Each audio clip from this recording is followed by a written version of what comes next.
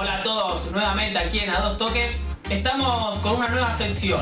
En este caso van a ser las atajadas. Ya pasamos por los goles y también por los festejos. En los goles los arqueros tuvieron mucha participación. Recuerdo el de Barja Grasa y el de Pecot. Pero en este caso los vamos a ver en su mejor función, que es atajar y evitar los goles, pero del equipo rival.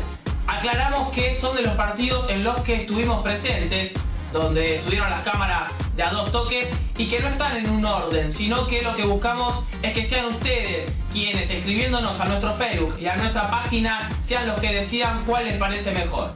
Vamos a ver las 5 mejores atajadas del mes de abril en a dos toques.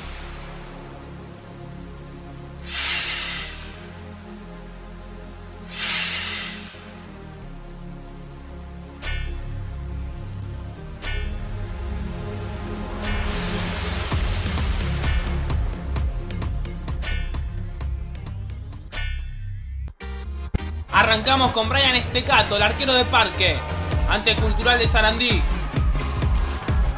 En dos oportunidades. Primero, le tapa un mano a mano a Maxi Torres y luego vuela y la ahoga el gol a Marco Ferrari.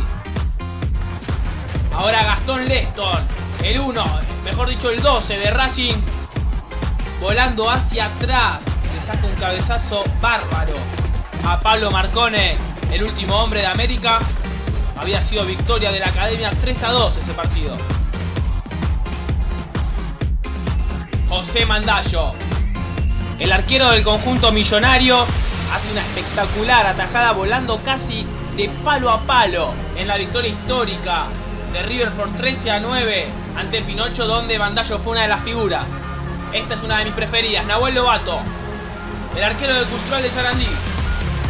Le pega a Adolfo Barcagrasa la saca con el pie Lobato, pega en el palo y luego, volando hacia atrás, el 1 del Cultu evita el gol en la línea para Franja.